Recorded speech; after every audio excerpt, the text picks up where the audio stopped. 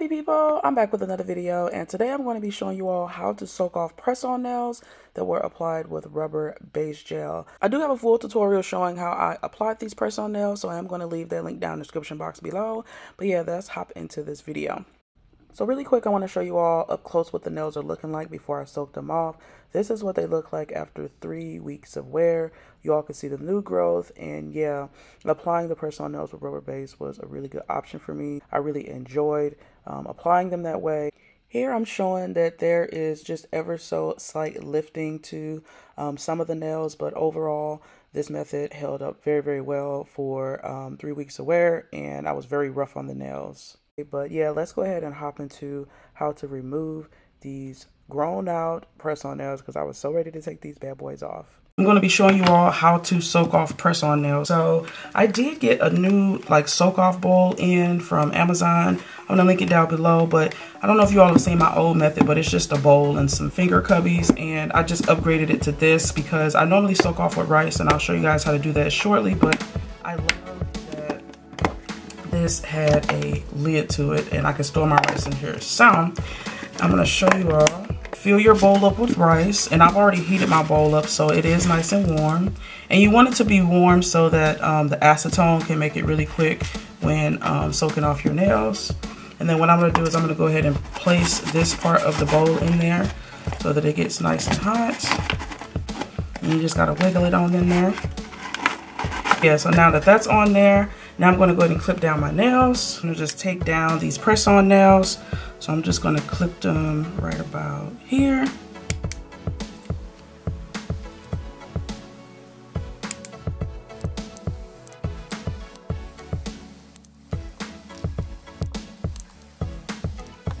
Okay, and now that the nails are all clipped down, now I'm going to just file off the shiny top coat and I'm going to be using the new nail drill I just got in from Melody Susie. And I'm going to keep it on low for now. And the only thing I'm going to do is go through and file off that shiny top coat of the press on.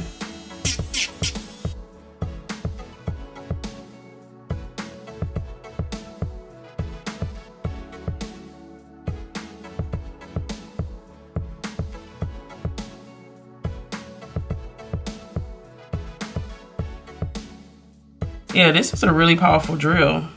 Like I'm impressed. So all the nails have been clipped down and filed down to shape. So now that I have my soak off bowl filled with rice and ready to soak off, I'm gonna go ahead and pour acetone into each of these little holes here.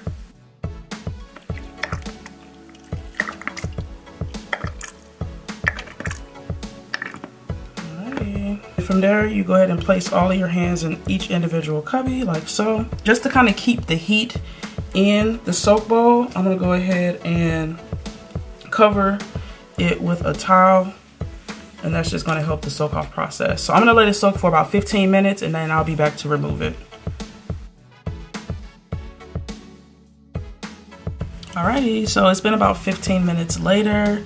We're gonna take a look at um, how the nails are looking. And so, okay, so far so good. Looks like they're soaking off perfectly. So what I'm gonna do is I'm gonna get just a paper towel. I'm gonna have it here on the side. And what I like to do is I like to remove one finger at a time because it allows the other nails to soak and then just scrape off each nail individually. So I'm gonna go ahead and do that. And yeah, and you'll see it's super easy to remove. It flake right off the nail. Nothing difficult, nothing hard. And just like that, the press on nail is off and you're ready for the next set. So I'm gonna still let that soak. I'm gonna bring out the next finger here. Again, it comes right off.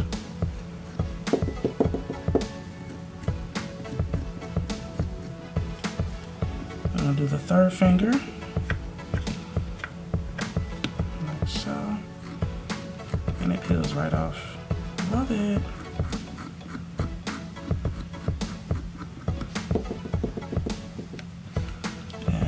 Last nail here. Yeah, I love I love this method for soaking off nails. So yeah, and I'm really liking these new uh, bowls that I got too. It makes life a lot quicker. And the other thing is what's that's great about it is that I can actually store the rice in the bowl. So yeah, y'all, that's that's pretty much it. Last thing left to do is to just wipe off your nails like so.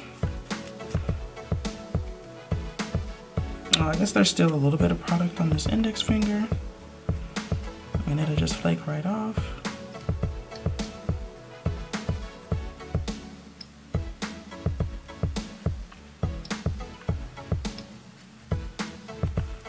So this is what the nails are looking like after I've scraped off all of the press-on nails. And the last thing left to do is to just to hydrate my cuticles. I'm gonna just go in with this pen I got from Melody Susie and hydrate my cuticles here.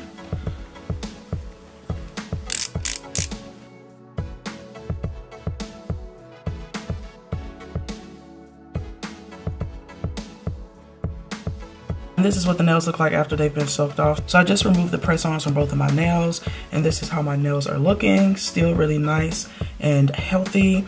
Um, I wanna show you all really quick um, how to uh, clean this bowl out. So I really, I really enjoyed using this to soak off my nails. This is definitely gonna be my new go-to.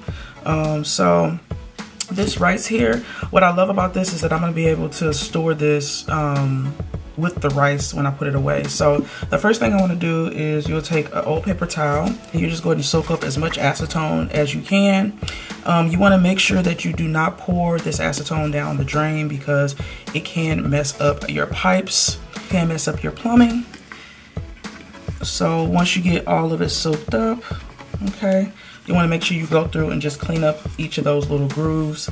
Making sure to remove any debris and such from the inside. One thing i like to do is i'll take like a small piece of a paper towel and i'll take the other end of my cuticle scraper and i'll just kind of like kind of use it to scrub the inside of my thing just to get everything out. Like so And I'm gonna go through off camera and get all the rest of this out, but y'all get the idea. But the thing that I love about this is now when I'm ready to store it for future use, all I have to do is put the lid on and then I can snap it closed. So yeah, I really, really like this option a lot. And I will leave the link to this listing down in the description box below.